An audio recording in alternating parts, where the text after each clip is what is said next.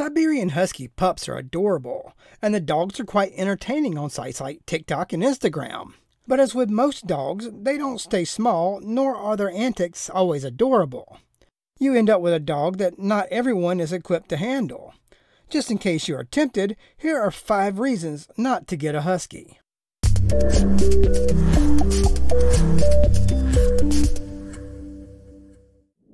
You don't like the taste of fur. A husky's coat is beautiful while it's on the dog, not so much when it's all over everything you own, and definitely not when it becomes part of your morning breakfast. Yes, you will find dog hair everywhere, including your cereal bowl, and that's year round. Let's not even get into the complete coverage you'll get twice a year when your husky blows his coat. We're talking wall to wall fur coverage. Hope you've got a good vacuum cleaner. Huskies are loud. If you find yourself preferring peace and quiet over chaos, you might want to look into a different breed. The Husky is a very vocal breed that has an unwavering love of yodeling and howling. They will do this at any given time, but especially if they hear a high pitched noise, are demanding attention, are stressed, or if they're unstimulated and bored, but sometimes just because. Well, it's a Husky. You can always work with a certified dog trainer to find ways to help reduce the behavior, but this trait is inherent to the breed. Your husky may drag you along for walkies, and they will need plenty of mental and physical exercise. If you enjoy a relaxing walk with your dog, it'll take a lot of work to teach your husky leash manners. People tend to forget these dogs were selectively bred for hundreds of years on their ability to pull sleds for long periods of time over great distances. They are known for their strength, stamina, and endurance. What's also important is giving them an equivalent job to what they were bred to do as an outlet for their instincts. There are specialized harnesses for things like cart pulling and bike joring to facilitate their drive in an acceptable manner. You're not going to train away instinct and genetics, but you can at least teach your dog when it's appropriate to pull and when it's not. Focusing on leash manners while also giving them a breed appropriate outlet is going to help you and your husky find that balance. If you're not particularly active or not at home a majority of the day, this breed might not be the best match for you. Huskies absolutely need things like enrichment, structure, training, and tons of physical exercise, as well as mental stimulation. These are very active and intelligent dogs that need to be given something to do. If left to their own devices, they will do things like howl incessantly, chew through doors and walls, or make your favorite armchair look like it exploded. They are also a highly social breed that craves human companionship, so being left alone at home will lead to behavioral and other undesirable issues. Hiking, swimming, jogging, cart pulling, and bike joring are all great physical outlets for energy.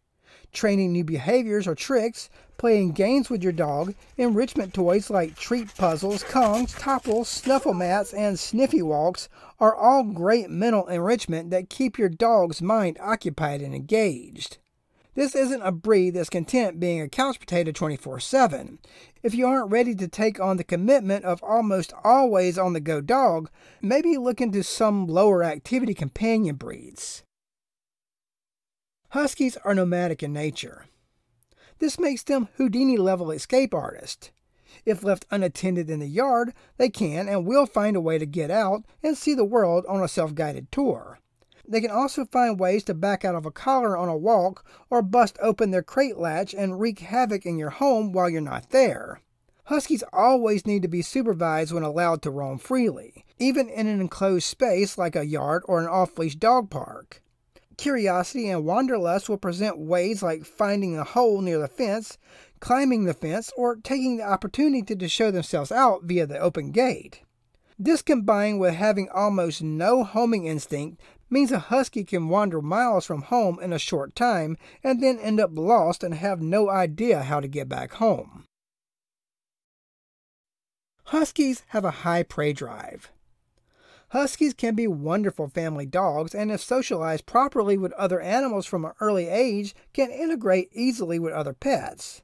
But they can also become overly aroused by the quick movements of cats and small animals, leading to disastrous consequences for their target.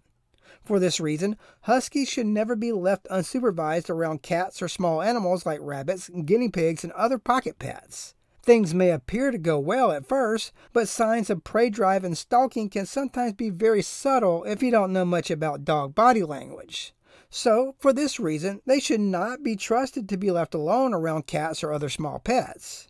There have been numerous cases of huskies living with cats all their lives, but becoming over aroused and then chasing and killing the family cat. If you're going to be out of the house, it's always wise to either crate your husky, put them in a separate escape proof part of the house, or block off the part of your home where small pets are kept. It's always better to be safe rather than sorry, especially when it comes to the lives and well being of all concerned.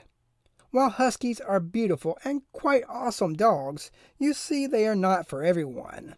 Whether you have what it takes to have a happy Husky companion is up to you. Do you think you have what it takes? Comment below.